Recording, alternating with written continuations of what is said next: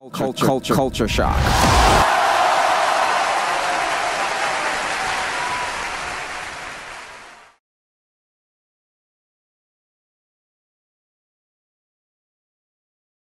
On a scale from 1 to 10, just how Nigerian are you on a daily basis? Uh, like uh, four. I'm a Nigerian in nine scale. A 9 scale every day? Yes, every day.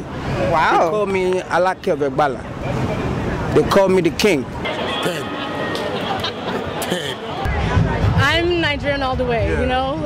Ah, let me say, can I say nine? I don't want, I, I don't want to say ten. I'm a 10. 10 is the highest? Oh, I'm a 10. I'm definitely a 10. Uh, seven. I'm a six or seven. Why? I'm very Nigerian, but yet I still got my American side. How many states are there in Nigeria? How many states? To be realistic, I don't know. I don't know. I don't know. How many states does Nigeria have? I have no idea. Is it 32 or 36? Between, I can remember between 32 and 36. We have 36 states in Nigeria. Are you sure? 100% sure. 100%. 36. It's not 36, so. Nigeria state is 36. It's 36 and a half. Yeah, Abuja, right? Yeah, 36 and a half. So who's the vice president of Nigeria? Atiku.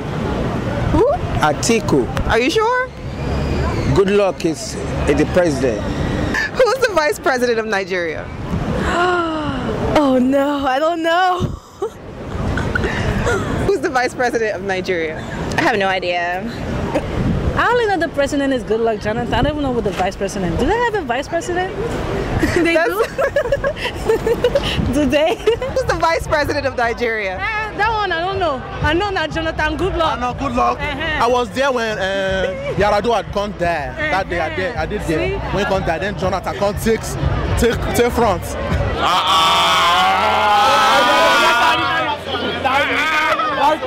We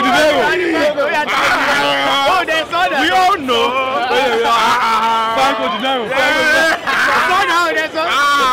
They're embarrassing me. I won't answer that.